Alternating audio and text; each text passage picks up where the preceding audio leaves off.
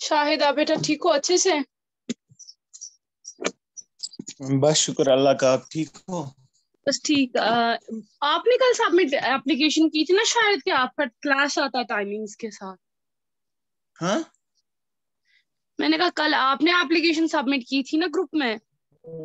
No मैं मैंने नहीं की थी। वो समीर और सलमान ने की थी। Okay it's shahid okay. What, let me see. Okay ma'am let me let me. Boys in sin.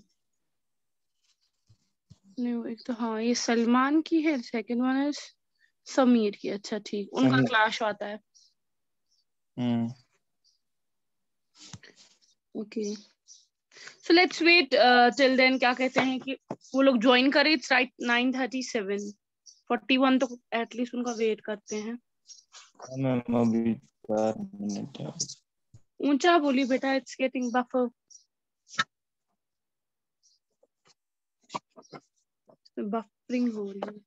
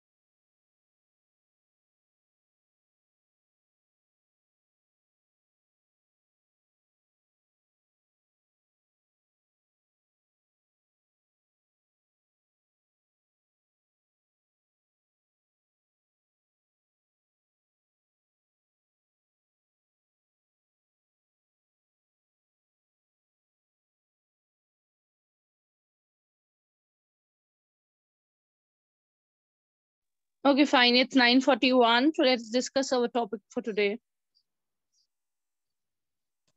Okay, ma'am.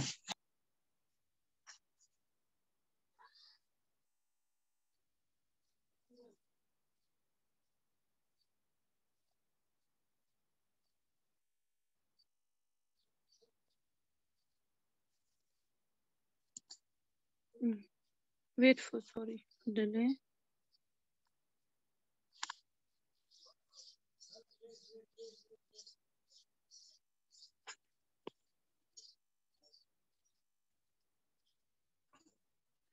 Okay so yesterday we were discussing the poetry तो वहाँ पर कुछ चीज़ें जो डिस्कस करनी मैंने उस वक्त हम लोगों ने नहीं की थी। एक तो सिंबोलिज्म है जो मैं इसके नोट्स आपको फॉरवर्ड करूँगी।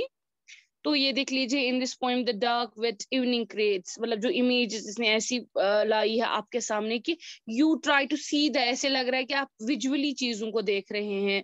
तो इमेजरी उस चीज़ को कहते हैं तो आप देख लीजिए लीजिए कि इसमें क्या क्या है इसमें क्या क्या चीज़ें, जैसे इमेजरी है visual kinesthetic auditory and organic visual हो गया जो आँखों से देखी जा सकती है, जो इमेजेस आई को अपील करे, आँखों को अपील करे, ठीक है? तो यहाँ पर जो विजुअल इमेजरी है वेट डोर्स है विंडोज़ है ऑनिंग्स है wet collar of the points coat है।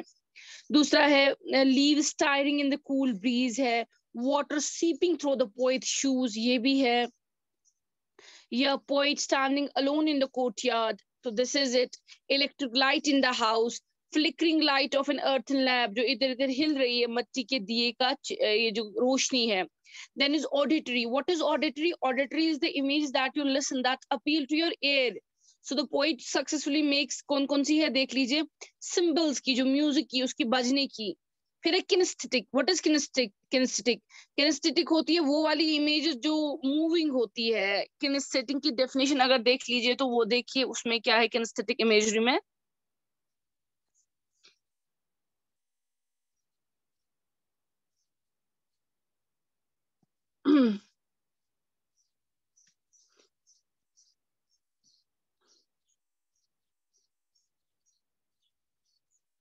That is of the sensations ठीक है? कॉग्निटिव क्रिएशन जिसमें मूवमेंट्स हो फ़िज़िकल मूवमेंट्स की इमेजरी जो मूवमेंट्स को मतलब that related to the movements of body ठीक है? वॉकिंग है स्टैंडिंग है walking on the raining evening standing alone in the courtyard है ठीक है? Kinesthetic means that is related to physical movements physical imagery ठीक है?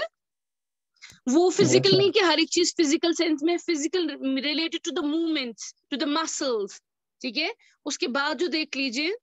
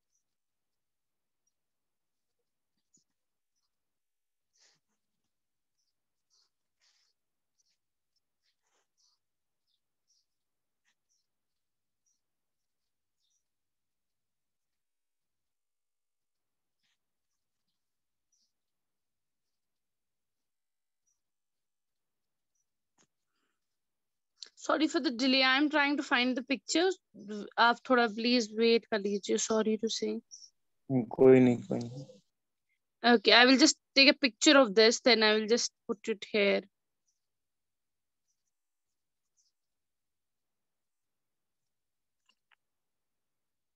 just a minute i'm just putting it all here i just got oh no that's it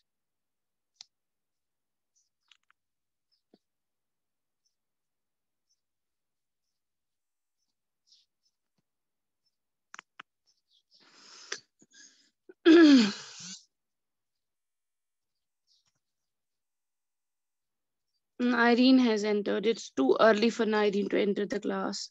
So right now, see the, uh, let us first come to the definition.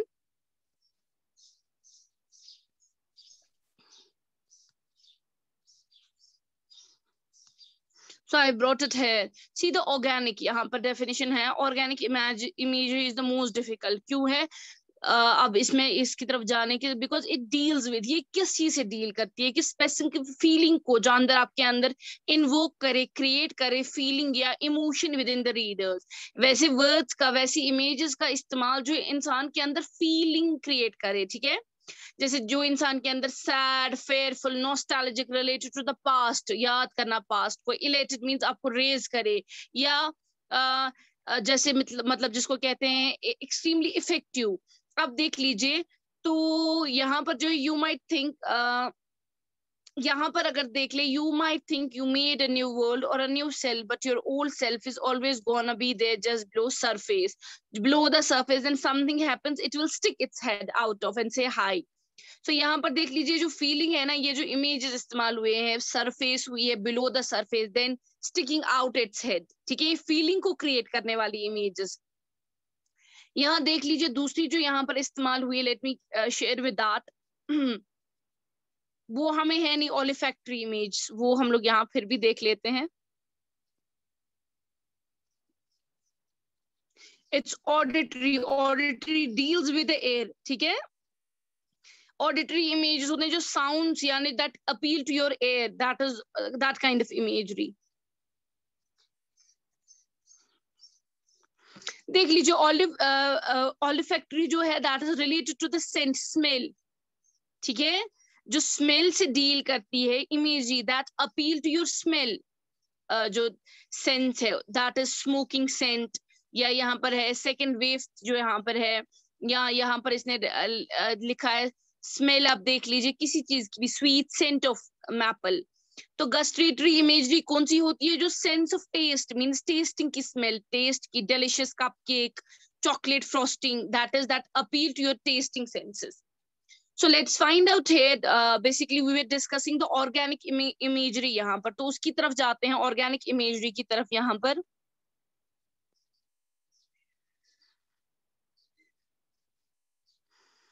To find out it here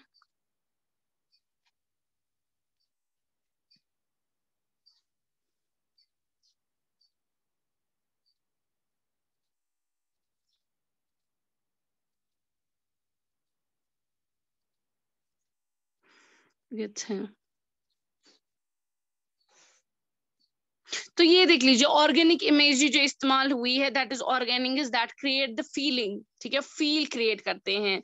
तो that is sad feeling nostalgia feeling तो ये जैसे कि अगर आपको याद होगा, इस पॉइंट में कोई डील करता है, पुराने उस जमाने में जब वो दौड़ता था, बारिश में कोर्टयार्ड में रहता था, और उसको कोई फ़िक्र ही नहीं होती थी।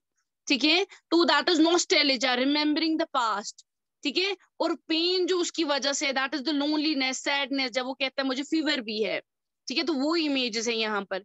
Then there is alliteration what is alliteration alliteration is the repeat of the consonant sound in the beginning I am repeating it what is alliteration alliteration होता है जब पोइम में ऐसे वर्ड्स इस्तेमाल किए जाते हैं एक सेंटेंस में, जब, जहाँ पर इनिशियल वर्ड्स को रिपीट किया गया हो बिगिनिंग ऑफ़ द वर्ड्स में, जैसे यहाँ पर देख लीजिए हैंड्स टू होल्स यहाँ पर देख लीजिए H sound has been repeated या कभी कभार एच के बदले हो सकता है hands to hammer then H A A sound has been repeated एक साउंड ही दो भी हो सकते हैं. यहाँ पर फ़िलहाल एक ही है subtle to signals S sound should I stand, then S and S has been repeated. ठीक है So now let's coming to the back another जो हमें discuss करनी है इसकी और एक दो चीज़ें जो हमें discuss करनी है that is engagement वो हम discuss करेंगे anaphora and engagement okay sorry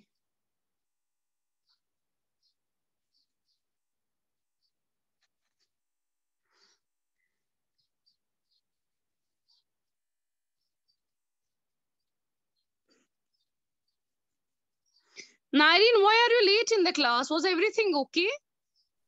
Ma'am, yes. Then I had to put an uh, message in the group to let you आपको बोलने के लिए कि क्लास में आइए बेटा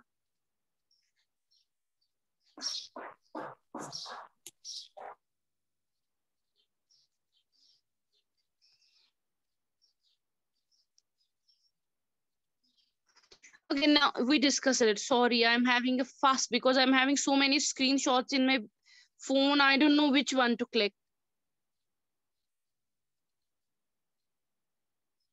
Okay, now we were having anaphora. Okay, so so let is find it out here the definition also यहाँ पर ही पता चलेगा. An can be defined easily by the reader in following examples देख लीजिए कि जब आप एक दो वर्ड्स को रिपीट करते हैं the word the has been repeated twice in the beginning of last two देख लीजिए, जब आपके लाइन में एक दो इनिशियल दो तीन वर्ड्स या एक वर्ड रिपीट हो कंटिन्यूसली उसको एनफोरा कहा जाता है।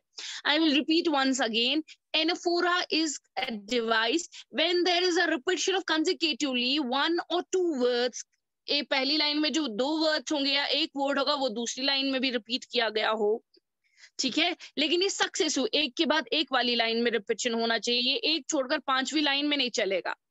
तो लेट अस सी यहाँ पर इसने कहा the word the has been repeated twice in the beginning of last two successive verses of the first stanza तो लास्ट की जो वर्सेस है सक्सेसिव एक के बाद दीगर जो आती है तो फ़र्स्ट टेंजा की वहाँ रिपीट हुआ है देख लीजिए। The heart becomes the hands the has been repeated the heart becomes the hands to hold them with the love. So the word दो uh, uh, इसमें stanzas है हिस्से हैं एक हो गया the heart becomes फिर है the hands to hold them with love अब देख लीजिए द हार्ट जो है, उसके बाद बिकन्स के बाद द हैंड्स है। The H sound and the H H को भी छोड़ दो that is an different example but the the sound has been repeated the word अब अनदर एग्जांपल ऑफ़ एनाफोरा क्या हो गया? ये हो गया, एक ही सेंटेंस में स्टेंजाज में आपका रिपीटेशन है। जब दो लाइंस में आपका रिपीटेशन हो, वो देख लीजिए। ठीक है? यहाँ पर देख लीजिए my feet are cold with water seeping through my shoes पहले माई फीट है, फिर लास्ट में माई शूज़ है। फिर उसके बाद देख लीजिए my eyes are heavy with sleep तो इसका मतलब my my sound has been sorry my my word has been repeated it's an example of anaphora ठीक है? फिर दूसरा देख लीजिए the ground is very slippery there is no place to stand the mind is exhausted then the sound has been already repeated ये clear हो रहा है? इसमें कोई कंफ्यूजन तो नहीं आ रहा है? No, ma'am. Now there is an enjambment. ठीक है enjambment uh, enjambment की एग्जांपल देख लीजिए Okay, इसमें देख लीजिए has been used throughout the poem as each and every words of the poem is connected to the each other means जिसमें आपका एक thought दूसरे thought के साथ connected हो तो आप अलग से किसी meaning of the any verse cannot be understand without getting the meaning of the verse before it जिसको हम उर्दू में कहते हैं ना आप कहते हैं उसमें तसलसल तसलसल होता है continuity continuity means that you can not individually take one जैसे शेक्सपियरियन आप पोइम्स पढ़ेंगे, वहाँ क्या होता है कि एक पोइम का आप एक भी स्टेटमेंट या स्टेंजा ले लीजिए, उसका अलग मीनिंग होगा. लेकिन यहाँ पर पोइम एक कंटिन्यूटी है कि एक थॉट को, एक स्टेंजा को आप अलग नहीं पढ़ सकते that is related to the next ठीक है? Then there is a rhyme scheme there is no particular rhyme scheme there is a free verse ki azadana there is no bandish of rhyme scheme it's as if uh, क्या कहते हैं उसको as if ideas float इसमें कोई rhyme scheme particularly नहीं है ठीक है yes ma'am now we have to see metaphor and personification there too okay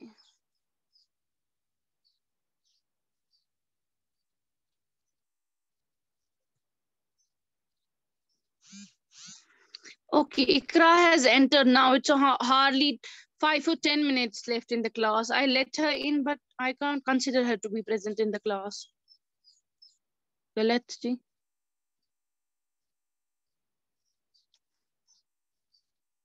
So metaphor, what is metaphor? See, there are two things. One is simile, one is metaphor. Metaphor is a direct comparison where you don't use the words as or like. It's directly compared.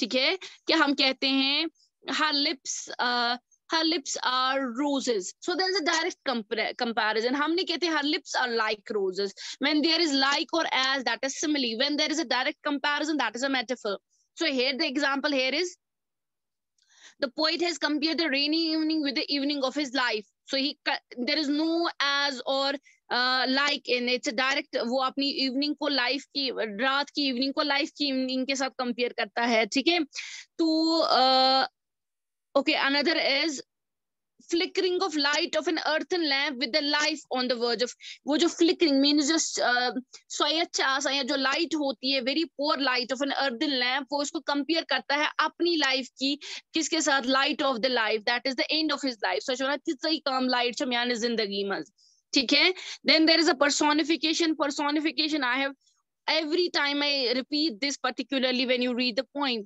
So personification is giving the uh, qualities of human beings to the living as well as non-living things. ठीक है?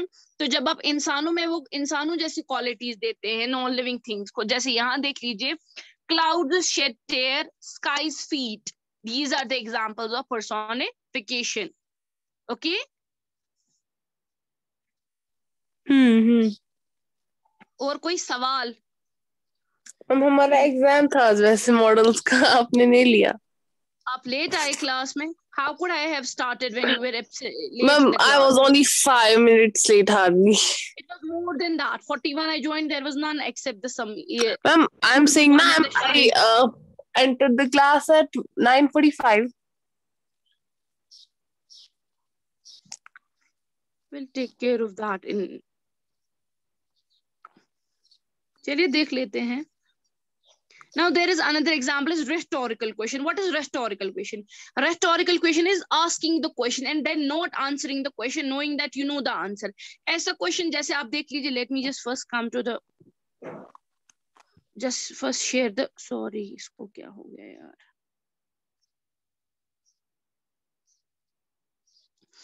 आ, वो पता है रेस्टोरिकल question क्या होता है? रेस्टोरिकल question हम ऐसे क्वेश्चंस को कहते हैं।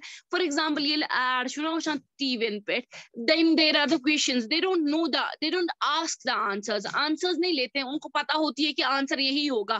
फॉर एग्ज़ाम्पल आप एड की एग्ज़ाम्पल ले लीजिए। वो कहते हैं क्या आपके बाल क्या आप डेंड्रफ के हाल से परेशान है? Do do you answer them at the time? No. They know the answer. They know that answer is I'm again repeating, rhetorical questions are the questions which are asked, but the question, जो question पूछता है, उसको इसका answer भी पता होता है। He considers the answer there. ठीक है? जैसे एक अच्छी सी एग्जांपल आपके इसकी है। जैसे एड्स में आप रेटोरिकल क्वेश्चन देखेंगे। रेटोरिकल क्वेश्चन वहाँ पर होता है कि क्या आपके बाल सफ़ेद है? आप जब तक आंसर नहीं देते, वो वेट नहीं करते। They know they consider they know the answer ठीक है? तो यहाँ पर अगर देखेंगे रेस्टोरिकल क्वेश्चंस की एग्जांपल्स तो अगर हम देखेंगे रेस्टोरिकल क्वेश्चन जो क्वेश्चन इसलिए पूछा जाता है टू क्रिएट ड्रामेटिक इफ़ेक्ट मतलब ड्रामा क्रिएट ड्रामा क्रिएट करने के लिए ताकि अटेंशन किसका ले लिया जाए? लिसनर का या सुनने वाला ठीक है? ऑडियंस का। तो that's why we ask the rhetorical questions. For example, there is where is my destination where is the hurry?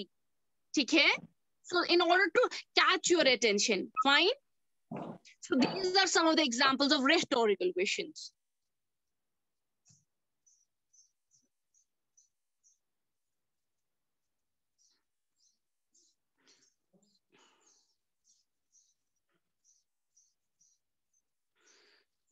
Okay, so then afterwards we are having, what is there that we need to discuss? I'm finding every Okay, that's it.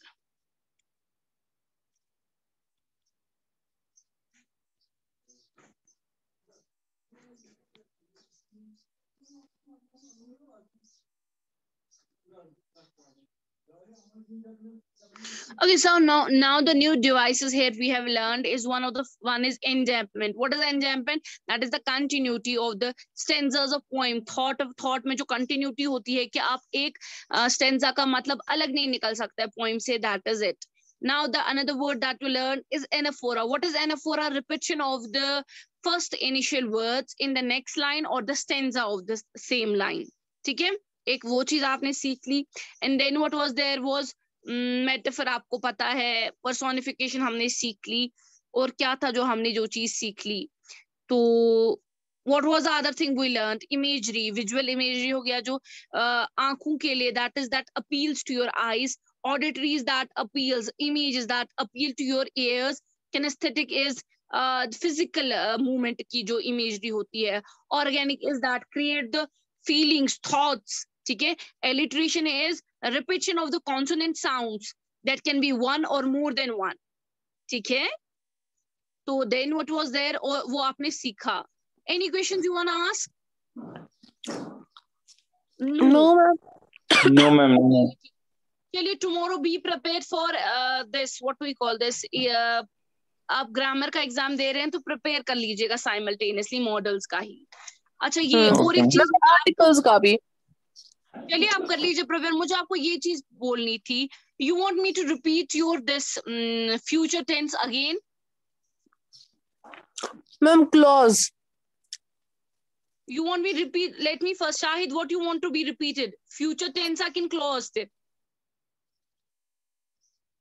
ma'am clause clause future tense ने किए no ma'am अच्छा इकराश ने what about you